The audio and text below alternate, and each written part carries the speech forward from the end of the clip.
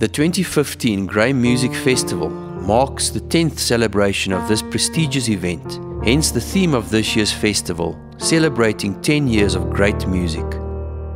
The music festival in its current form has evolved from a humble choir festival in the Grey School Hall to the music extravaganza which we are privileged to experience again this evening. 'n Musikale ervaring soos hierdie is uiteraard afhanklik van borgskappe vir befondsing en dis wil ons van meet af ons vrygewige borge bedank. Ons verwys spesifiek na FNB en die Noordwes Universiteit, oftewel die PUK. Ons is onbeskryflik dankbaar vir die ondersteuning en vertrou dat die verhouding uiteindelik een van wederwysige voordeel sal blyk te wees. Gedurende die afgelope 10 jaar was ons gasheere van Suid-Afrika se uitnemendste kunstenaars. Kunstenaars soos Lorika Raug, Teen Jordan, Steve Hofmeyer, Karen Zoid, Anna Davel, Romans, Jak de Priester, Valiant Swart en Lise Beekman en verskeie ander, asook plaaslike kunstenaars soos Caroline Haasbroek en Corneel Miller. Hierdie jaar is Grey bevoorreg om gasheer te wees vir die sangers Elvis Blue, Andreet Norman en plaaslike sanger Anne Maglola.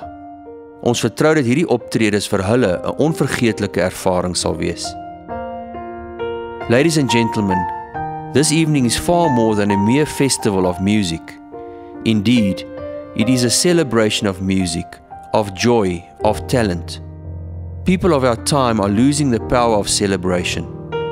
Instead of celebrating, we seek to be amused or entertained.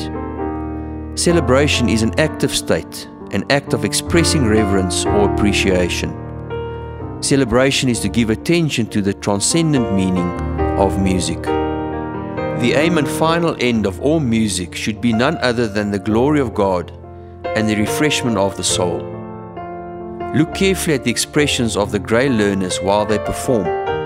The concentration, the joy, and the utter absorption of the state of music celebration. This is the expression of celebration.